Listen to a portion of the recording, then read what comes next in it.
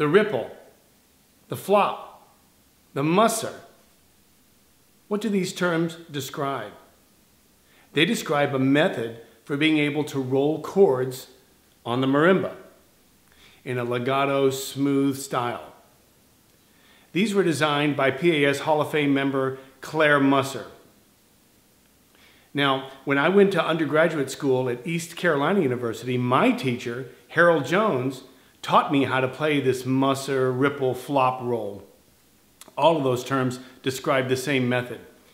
And his teacher at the University of Michigan, James Salmon, known as Jim Salmon, also another PAS Hall of Fame member, taught it to Harold in the late 1950s. And Jim Salmon had learned it from Musser himself when he performed in the mid 1930s with one of Musser's world marimba orchestras. So what I'm going to show you now is what Jim Salmon learned from Musser and that he taught it to Harold Jones who taught it to me and now I'm going to show you. The double lateral roll or the ripple roll. What's the difference? Here's the double lateral roll. Choosing my heights, just like on the floor exercises, I'm gonna go one, two, four, three for this ripple roll.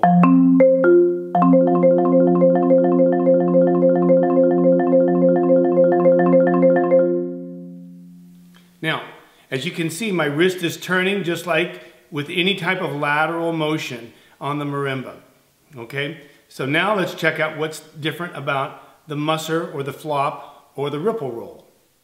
The main reason the ripple roll has a nickname, the flop roll, is because the inner mallet flops uh, like this after the outside mallet falls. Now, how do you do that?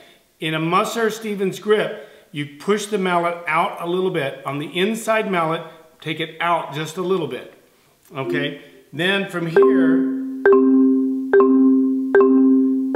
you can tell that these notes, inside mallet falls afterwards, a little bit out of control really at this tempo for certain. Okay, doesn't sound much like a roll, does it? But if we speed it up a little bit, I'm gonna add the left hand, okay?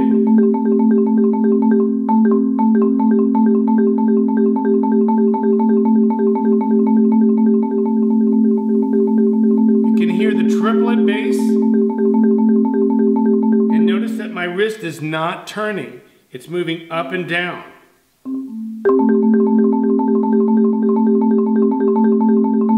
Now, we take the fourth mallet and now we're going to flop.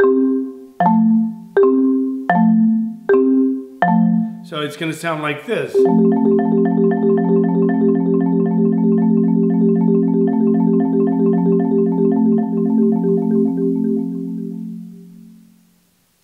Listen how quietly you can play the ripple roll. Notice that it's still the one, two, four, three permutation, but delivered completely differently.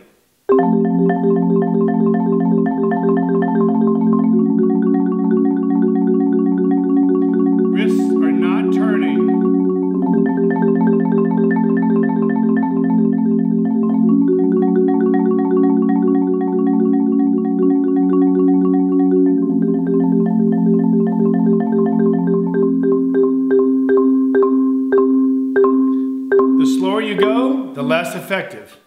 It's my experience that current teachers today in percussion don't really teach the ripple roll the way I learned it. I did describe this roll in my book, Marimba, Technique Through Music. If you look at the section on the chorale playing, you're gonna see a, one paragraph that describes the ripple roll and how to produce it.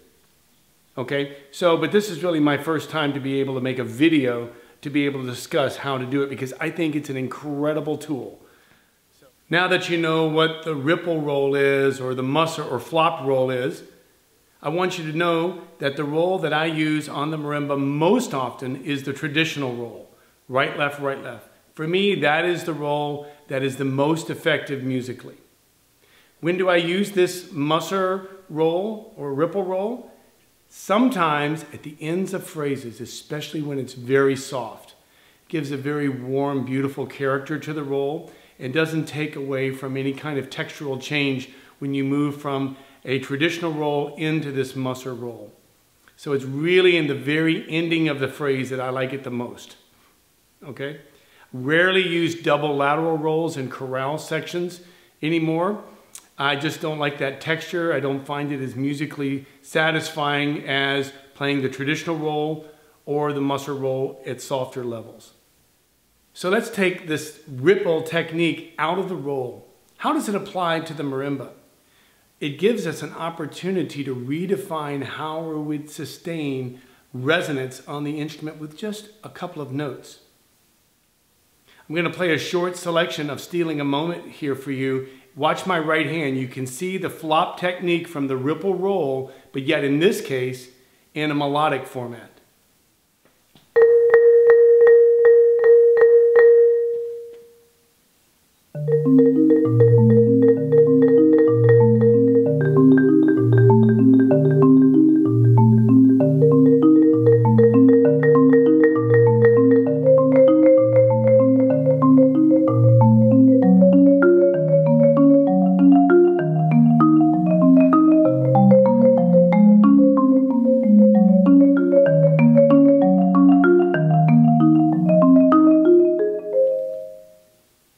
There you have it. The ripple roll is not a double lateral roll. These two rolls have the same permutations of the mallets, but you deliver them very differently. Okay, the primary difference, of course, is what I just described, the rotation of the wrist versus the inner mallets flopping uh, after the outside mallets. They both produce the same permutation. They both can produce somewhat kinds of rhythmic effects, but I think that the musser or the flopper ripple roll is best used at really soft dynamics for really beautiful phrase endings. I've used it many times as I've just described.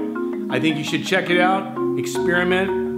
Unfortunately, this type of technique is not very applicable to any kind of crossed stick grip on the marimba. So if you're using the Musser slash Stevens grip, then you should try this. Enjoy. Take care.